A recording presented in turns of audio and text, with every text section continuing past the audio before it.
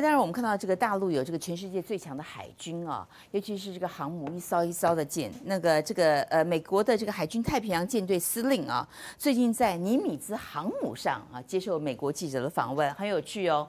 他在航母上啊接受美国哥伦比亚广播公司的采访啊，他怎么说？来，我们先把两个人的这个对话的部分截出来给大家看一下，有没有？很担心，真的很担心，就在航母上讲，超有既视感，超有临场感啊。他说什么呢？记者问他，记者问的很直白，超直白。我们记者都这样嘛啊？你到底有多担心解放军的火箭军？你有多担心呢？他说什么？我担心，你知道我。如果不担心，那就是个傻瓜，讲得很好，对不对哈？超直白的，他没有掩饰啊，他也没有迂回，他就告诉你，我不担心，我是傻瓜，我当然担心解放军的火箭军啊。我们每天都在努力开发应对他的策略、技术跟作战程序，同时继续开发可以防御他们的武器系统，有没有疲于奔命啊？真的很担心哦。然后记者在问，那我们现在距离中国大陆有多远？他说一千五百海里啊。记者在问。那解放军火箭军可以打我们呢？他说：“对，他们可以做到，有没有？好，如果他们已经确定目标位置，他们就可以击中这艘航母。所以，如果我不想挨打，我要做一些什么啊？”然后记者在问：“啊，呃，这个有没有？”然后他还说：“解放军正在练习使用他们的反航母弹道导弹，向沙漠中模拟美国舰艇的靶标进行射击。这些靶标看起来真的。”很像这艘尼米兹航母，吉大使，他讲的都是实话，嗯，没有错。中国大陆东风二十一陆基的，就可以打到它，距离一千五百海里就可以打到它。那中国大陆现在又有所谓的哈舰载的哈鹰击二十一，也是可以打到它。现在呢，还有一个哈，就是从轰六 K 上面啊，也可以从轰六 K 发射哈这个哈这种这种哈这种空对舰的导弹啊，也可以消灭它。那所以中国大陆事实上的话，如果就是说美军进入到第二岛链，事实上就已经有一点问题了。那中国大陆发展这些能力，从军事的角度上来看，就是要区域拒止，也就是说，我要把你挡在这个范围以外的话，我有能力，因为你进来的话，就跟这个美军太平洋舰队司令啊，我可能会被他打中啊。对，那他如果说紧急状况的话，他真的就是往后撤啊，也就是两次从去年。裴洛西来到这个后来这个哈，蔡英文啊跟这个跟这个美国的这个这个议长见面哈，两次的围岛军演啊，为什么当时在台海附近的美国的航空母舰都要往后退？这是军事的正确决策，因为你有紧张的歧视啊，它可能会变成被攻击目标的时候哈。然而这一场这一场这个哈对他来讲，这个这个紧张情势啊，对他来讲是不值得冒险的，他就往后退。这个呃，美国太平洋舰队司令接受了这个美国记者的访问，就在尼米兹号。当然呢，他也算是怎么讲，算长他人志气，灭灭自己威风嘛，讲的是蛮诚实的。不过确实如此，大陆海军的规模在二十年之内增加了十倍。好，他也这篇报道中也说呢，杀伤力是越来越大，相对的，美国这个军舰艇的速度呢日益缩小。新建的这个军舰的数量远远比不上退役的速度哦。相对的，美国好像在海军上逐渐的衰落，大陆逐渐的增强。另外一个来有关的哈，跟军事有关的，来导播调出来哈，一八点四，大家看一下。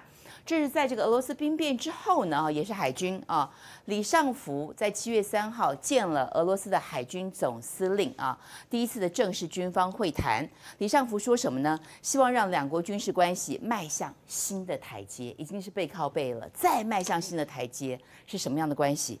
希望双方加强各层级的沟通，注意哦，常态组织，联演、联巡、联赛。有没有常态的？这三个都是联赛，拓展专业领域的务实合作。然后，这位俄罗斯的这个海军总司令，刚刚我们也谈到的是尼米兹的这个呃这个太平洋这个舰队司令嘛，人家的俄罗斯海军总司令也说，希望跟中方保持密切啊接触，共同组织好海上联合演习、联合巡航等重要的演训活动。同时，俄罗斯国防部有声明啊，说这位这个海军总司令访华期间。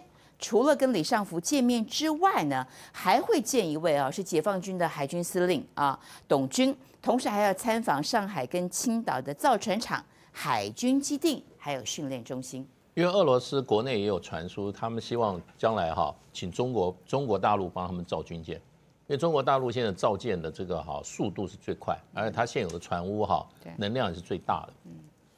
所以俄国内部有传，我一看他要去青岛造船厂啊，我就想到就是说，是不是回应俄国内部的一些呼声？因为俄国的这个海军啊，舰艇是比较老旧的，可是它数量也相当庞大。不过美军的这个太平洋司令啊，他这样讲啊，当然是没有错。中国大陆追赶的速度很快啊，可是光航光航母的数航母的数数量，美国有十艘。那么不过美国就是它是全球的布局了，它在太平洋这地方能够调动的哈，北太平洋、南太平洋能够调动的航母大概就是五艘，因为它还有地中海，还有这个哈大西洋的这些啊航母，所以。事实上，中国大陆现在是三艘，第四艘可能在建。你如果没有到五艘的话，事实上航母的数量，跟美国要在太平洋对抗还是差一截。另外，美国这个海军里面有一个大杀器，就是哈核子核子动力攻击潜艇，它有六十九艘，这个哈那个数量非常大，全世界到处跑，所以你也不知道它在哪里。因为它这个核子潜艇为什么要核子？它长期不需要追加燃料，它在水底下就上。几个月都不出来，所以你都很难很难追踪的。所以就是说，美国事实上，我们今天很客观讲的话，它整体的战力哈还是最强。那为什么他的海军司令啊要这样子把这个中国大陆的海军讲的这么强啊？那讲的也是事实。那我想还有一个动机哈。就是要跟这个美国国会要预算，美国人想到又在要钱，美国人都是要钱。那中国大陆跟俄罗斯的海军的合作啊，这个是这个势头是无法挡的，因为两个两国有共同共同共同的这个哈这个利益，也就是哈在太平洋啊这个整个这样想，夏威夷岛以西的水面的哈这个控制权，如果能够拿到的话。事实上话，会给整个改变这个西太平洋的战略的这个形势。那所以基本上现在，当然俄罗斯要遏住美国对他进进一步的这种哈压迫，尤其在太平洋上，他如果跟中国的海军合作的话，联演联训，嗯，联演啊，就是联合演习。现在大部分都在北太平洋，在中国，在在中国的沿海没有没有最近的一次哈，没有超过哪里，没有超过长江。都在这个以北的水域，已经连演连续好多次，大部分在这个所谓彼得大帝湾，就是这个海参崴附近的水域。那么往北部走的方向比较方方，这个方位比较多。那最近的连演连训哈，是环绕日本绕圈，把日本的这个从这个青津海峡到大隅海峡这样绕一圈，十艘各出十艘。这个对日本来讲啊，日本只是沉住气不叫，可是对日本的震震撼是非常的强。那我想就是说，在美国加强，美国跟日本、韩国啊，还有这个菲律宾跟澳洲啊，加强在哈西太平洋的联演联训的情况之下，中国大陆势必这个已经是一个非常明确的，也就李尚福，俄罗斯的海军司令到中国来，已经是非常明确的一个讯号，就是要加强海军方面的联演联训。那针对的就是整个美国主导的哈，他的盟友之间哈，对太平洋这边哈，这个。的这个对俄罗斯，也就是太平洋岸的这个国土的威胁，跟中国这个哈整个哈第一岛链、第二岛链整个压迫，所以这个是一个大趋势。将来双方的两个阵营的对抗啊，是非常非常会非常非常的激烈。那整个来讲的话，呃，海军是一个国家哈能力投射、军力投射很重要一个指标。那对，对于现在对中国大陆来讲，我觉得中国大陆不是一种侵略式的，而是一种防御式的。它到现在还是防御式，因为为什么？因为中国有几条生命线，基本上随时会被被人家切断。一个就是整个的这个哈，从这个哈呃台湾海峡一直到马六甲海峡，一直到中东的这一条能源的生命线。那么还有就是贸易的生命线。那现在中国大陆想要打通这个所谓的哈北极航线，可是这个北极航线现在这个整个还在开发中。如果可以打通的话，那么它又要跟俄罗斯来合作。所以中国大陆过去是不是世界最大的贸易国？你既然成为世界最大贸易国，你如果没有保护你自己哈贸易生命线的能力的话，你这个贸易国是非常脆弱的。所以美国一直解释说中国大陆是扩张主义，其实。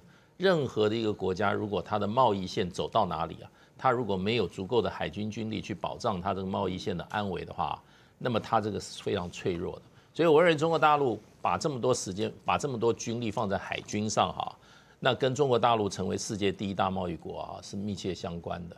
那另外一方面就是说，事实上就国家的防卫角度上来来看哈，中国大陆是被防的最严的，因为美国对中国大陆防线已经推到 推到中国的距离中国平均啊海岸线啊三百公里，那中国大陆离美国的海岸线有一万多公里，所以你今天中国大陆只是在把一个哈被包围的一个策略在突破而已。那对美军会造成威胁，对美国的本土造成威胁，我认为目前还不存在。